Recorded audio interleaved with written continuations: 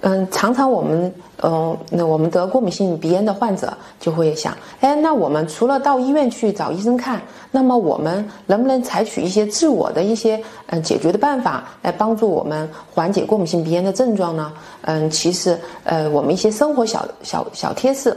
也是比较多的，比如说我们嗯早晚清洗鼻腔，然后还有就是我们出门经常佩戴口罩，然后我们家里经常做一些环境的护理工作，比如说嗯勤通风、勤晒被褥，然后减少毛茸茸的玩具，然后这些呢都可以减少我们接触过敏源。当然，我们有些对花粉过敏的患者。那么我们外出的时候，特别是在春暖花开的时候，那么我们要戴一些口罩啊，或者使用一些那个花粉阻隔剂啊，都能有效的避免一些过敏源的接触。那么我相信，那么通过一些小小的办法，我们都可以就是说